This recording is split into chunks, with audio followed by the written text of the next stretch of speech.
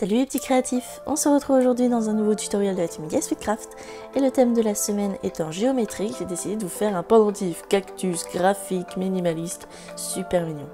Vous aurez besoin de peinture acrylique blanche, d'un rouleau ainsi que d'une lame, un dotting tool, un scalpel et en termes de pâte polymère, un vert foncé, un vert pomme, un bleu ciel, un rose pâle et un blanc.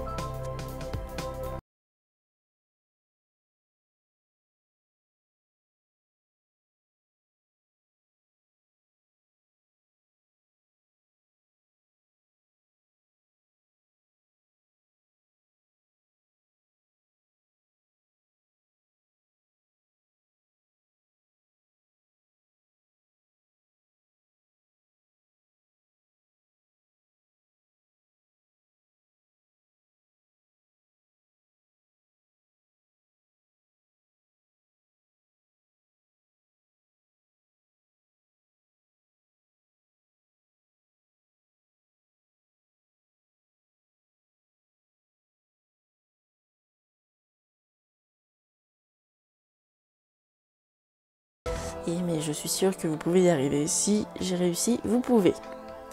N'oubliez pas de garder sur le côté vos restes de dégradés pour pouvoir éventuellement refaire d'autres cactus euh, avec les mêmes couleurs.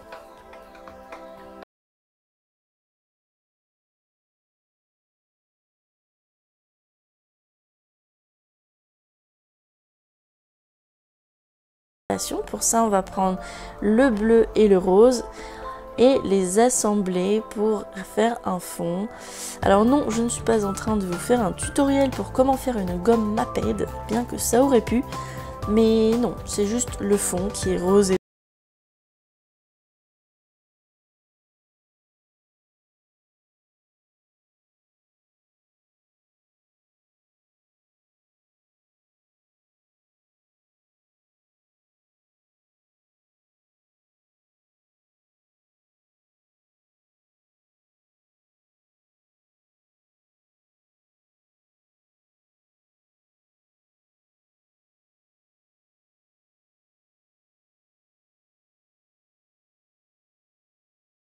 notre création terminée de découper. Euh, c'est-à-dire finir la forme. Pour ça, donc je fais un rectangle, mais je vais aussi couper en biais les côtés pour faire un, vraiment un côté géométrique, euh, facetté, euh, un peu comme une pierre. Petit détail de la mort qui tue maintenant, je vais rajouter de la poudre Fimo pour faire une fine ligne sur le haut du pot du cactus. C'est encore plus graphique. On passe à la cuisson bien sûr qui est indispensable. Et puis on passe à la fin. On ponce un petit peu pour que ce soit bien lisse. Puis avec notre dotting tool et notre peinture acrylique blanche, on va tracer les petits points du cactus. J'ai décidé de ne pas en mettre partout sur le cactus pour donner encore plus un effet graphique et minimaliste.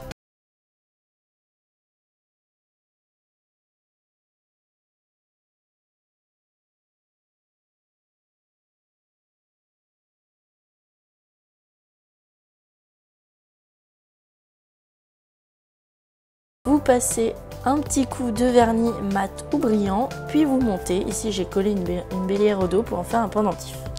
Et voilà, ce tutoriel est terminé. Vous pouvez varier les formes, les couleurs. Je vous laisse vraiment vous éclater. Montrez-moi ce que vous faites. J'espère que ce tutoriel vous aura plu. N'hésitez pas à aller voir les tutoriels des autres filles de la team en barre d'infos.